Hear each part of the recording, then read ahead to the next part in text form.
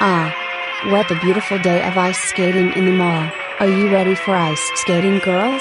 Oh my gosh, me too. Hey Jasmine, wearing hats on. And bring ice skates from the ice skate shop. That's right, Holly. Hey Sunny, where is Microsoft Sam? I'm sorry, girls. But Sam is afraid about ice skating. Sam is holding the pole.